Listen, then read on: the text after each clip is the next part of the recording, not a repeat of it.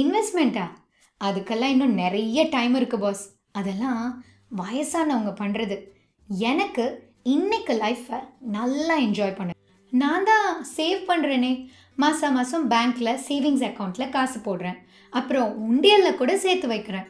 அப்புறம் எதுக்கு இந்த இன்வெஸ்ட்மெண்ட்லாம் இன்வெஸ்ட் பண்ணுற அளவுக்கு தகுந்த காசு என்கிட்ட இல்லையே.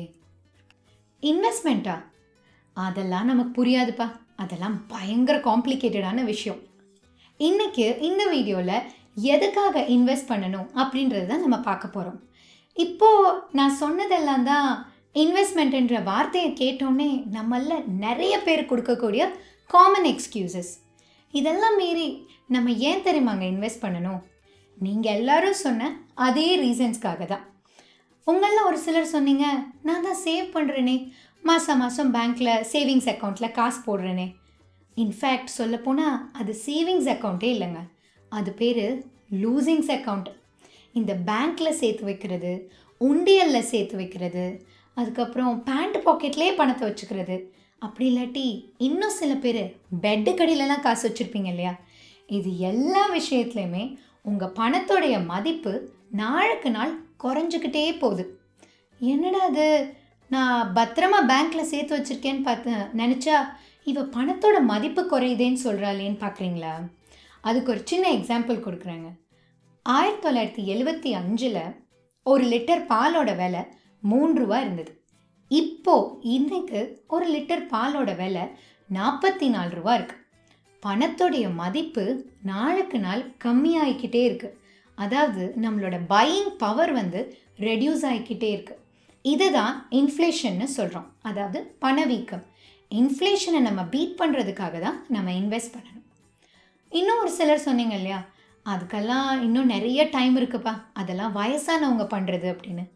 டைம் தாங்க இன்வெஸ்ட்மெண்ட்லேயே ஒரு key factor Albert Einstein eighth wonder of the வேர்ல்டுன்னு எதை தெரியுமா சொல்லியிருக்காரு?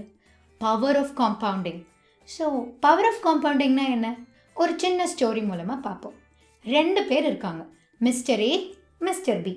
Mister A அவருடைய இருபதாவது வயசில் இருந்து மாதத்துக்கு நூறுரூவா மேனி பத்து வருஷத்துக்கு அதாவது முப்பது வயசு வரைக்கும் இன்வெஸ்ட் பண்ணியிருக்கார் அதுக்கப்புறமா அவர் இன்வெஸ்ட் பண்ணுறதையே ஸ்டாப் பண்ணிட்டார். ஸோ அவருக்கு அறுபது வயசு ஆகும்போது அவர் கையில் எவ்வளோ பணம் இருந்திருக்கும்? ஏதாவது கெஸ்ஸஸ் அவர் கையில் மூணு லட்சத்தி முப்பத்தி மூணாயிரத்தி எழுநூற்றி ரெண்டு ரூபா இருக்குது ஆமாங்க. அவர் பன்னெண்டாயிரம் தான் இன்வெஸ்ட் பண்ணார். ஆனால் அவருக்கு வந்தது என்னவோ இவ்வளோ பெரிய ரிட்டர்ன். இப்போது மிஸ்டர் பி எடுத்துக்கோங்க. அவர் வந்து அவருடைய முப்பதாவது வயசில் தான் இன்வெஸ்ட் பண்ணவே ஆரம்பிக்கிறார். ஆனால் அதே மாதிரி மாதத்துக்கு நூறுரூவா மெனி இருபது வருஷத்துக்கு இன்வெஸ்ட் பண்ணுறார் அவளோ அவ மிஸ்டர் ஏயோட டபுள் த டைம் இன்வெஸ்ட் பண்ணுறார் ஸோ டோட்டலாக இருபத்தி நாலாயிரம் ரூபா இன்வெஸ்ட் பண்ணியிருக்கார் இப்போ இவருக்கு அறுபது வயசு ஆகும்போது அவர் கையில் எவ்வளோ காசு இருந்திருக்கும்? இப்போ நம்மெல்லாம் என்ன நினைப்போம்? ஆஃப்கோர்ஸ் மிஸ்டர் ஏயை விட இவர் தான் ஜாஸ்தி இன்வெஸ்ட் பண்ணியிருக்காரு. ஸோ இவர்கிட்ட தான் ஜாஸ்தி காசு இருக்கும். அப்படி தானேங்க நினைப்போம். ஆனால் அதுதான் இல்லை.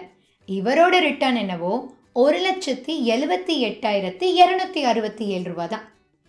எப்படி இது?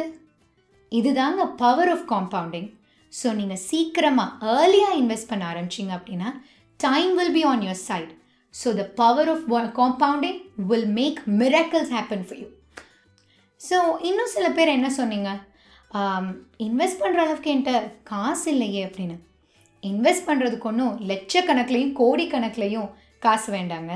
நான் இப்போ ஒரு ஸ்டோரி சொன்னேன்ல அந்த மாதிரி மாதத்துக்கு நூறுரூவாயோ இல்லை நூறு டாலரோ இருந்தால் கூட போதும். நம்ம இன்வெஸ்ட் பண்ண ஸ்டார்ட் பண்ணலாம். ஆனால் என்ன கீ ஆட்ரிபியூட்ஸ்னால் நீங்கள் ஏர்லியாக ஸ்டார்ட் பண்ணணும் கன்சிஸ்டண்ட்டாக பண்ணணும். இது ரெண்டையும் நீங்கள் பண்ணீங்க அப்படின்னா நான் சொன்ன மாதிரி power of compounding will work for you next அடுத்து எல்லோரும் சொன்ன மாதிரி இன்வெஸ்ட்மெண்ட்லாம் ரொம்ப காம்ப்ளிகேட்டட்பா அப்படின்னு சொன்னீங்க. ஸோ நம்ம நினைக்கிற மாதிரி பர்சனல் ஃபினான்ஸும் இன்வெஸ்டிங்கும் வந்து ரொம்ப கஷ்டம் கிடையாதுங்க. என்னென்ன டைப் ஆஃப் இன்வெஸ்ட்மெண்ட்ஸ் இருக்குது ஈச் இன்வெஸ்ட்மெண்ட்டுக்கு ரிஸ்க் வர்சஸ் ரிவார்ட் ரேஷியோ என்ன? அப்புறம் ஆசட் அலோகேஷன் அண்ட் டைவர்சிஃபிகேஷன் பற்றி இது எல்லாத்த பற்றியும் காமனான ஒரு லேமன் டேர்ம்ஸில் நம்மளுடைய அப்கமிங் வீடியோஸில் பார்ப்போம் தேங்க்ஸ் ஃபார் வாட்சிங் this video will see you again அந்த நெக்ஸ்ட் ஒன்